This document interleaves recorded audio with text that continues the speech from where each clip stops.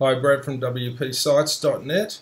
The code in this tutorial enables you to, to change the logo every time a different language is selected when using the WPML multilingual plugin for WordPress.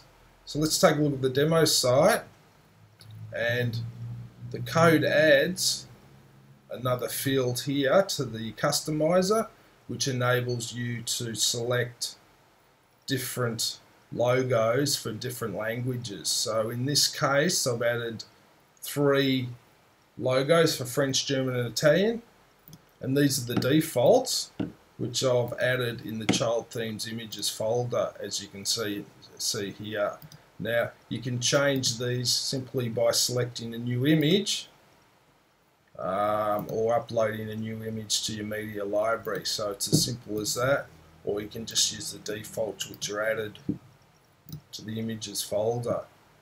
Now the default image, the English image, is added to the header image uh, field in the customizer. So here it is here. So if we click on English, we get English, French, German, and Italian. It's as simple as that. All the code supported for members of WPSites.net, so if you need installation or small modification support, that's included for members. Thanks for watching. See you next time on WPSites.net. Cheers.